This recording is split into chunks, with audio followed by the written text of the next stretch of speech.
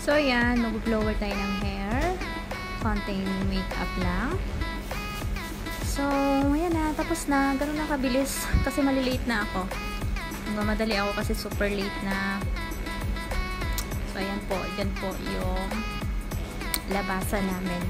Sa may lobby po yan. Yan yung tinitirhan ko dito sa Sharjah. So, I'm ready to go with my bike. So, here we go. Let's dig in. So, ayan po yung makikita nyo. Bilisan, binibilisan ko na yung pagpatakbo ng aking maliit na uh, bike.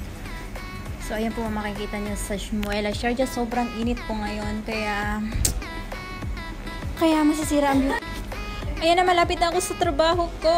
Sa pagmamadali ko, eh, muntig na akong mabangga. So, ayan na talaga malapit ang work. So, dyan po ako nagtatrabaho. Bilisan lang po natin kasi nandyan na po ata si manager namin. Ayan na, sus, may mga sasakyan pa, di pa, chick. Ayan na, ayan na, pasok na ako, bilisan. Ay, naku, ayan na, late na talaga.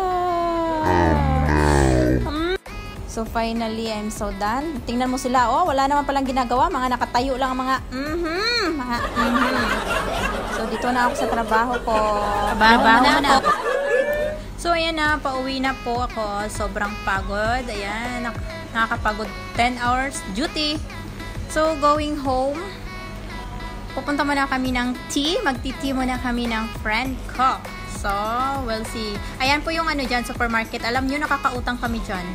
Ayan, nagre-ready na yung sila kasi pauwi na rin yung mga Andito kami ngayon after work. So, nagtiti kami ng friend ko. Ayan po. So, na ayan po yung tea namin.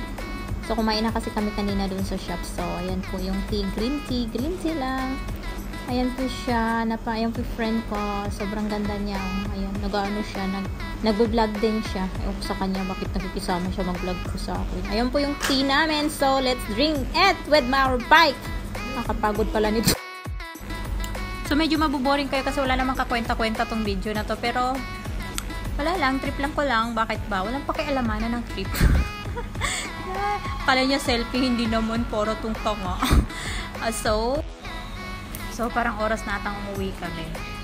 So, uwi na po kami. So, ayan na. Natapos din ang araw na to. So, pauwi na si Lenber. Ayan po, sobrang daming sasakyan. May na ako tatawid.